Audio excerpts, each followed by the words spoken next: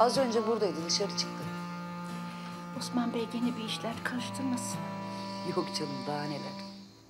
Annem nerede? Dışarıda yavrum. Birazdan gelecek. Ne zaman? Birazdan gelecek yavrum. Ah. Yavrum neyin var senin? Ne olmuş? Ateşi var galiba. Ateşi var bunun. Bakayım. Bak.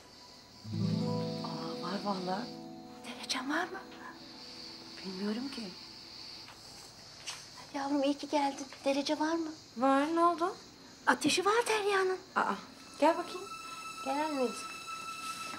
Bakayım sana. Ya bir şey anlaşılmıyor böyle. Var var. Bir derece bulalım. Var mı? Tamam dur.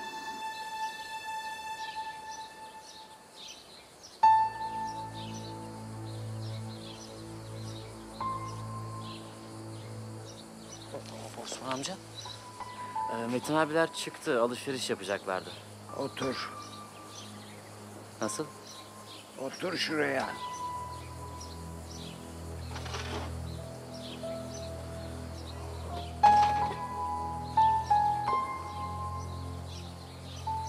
Sen nasıl bir adamsın?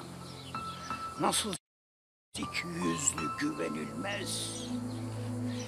El kadar çocuğu bırakıp gidenden hayır gelir mi? Gelmez. Sen yokken Mine neler çekti biliyor musun? Nereden bileceksin? Sonra da çık gel. Kızımdır diye Derya'ya yanaş.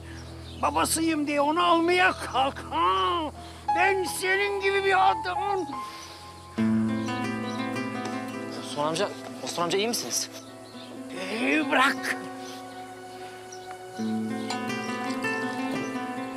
İstemez.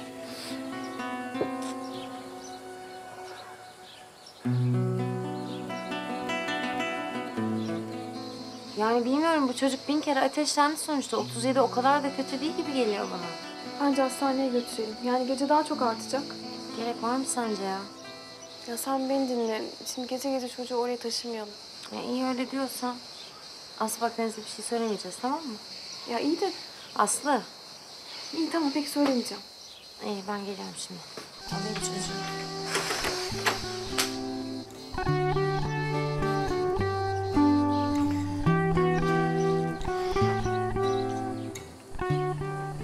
İyi misiniz Osman amca?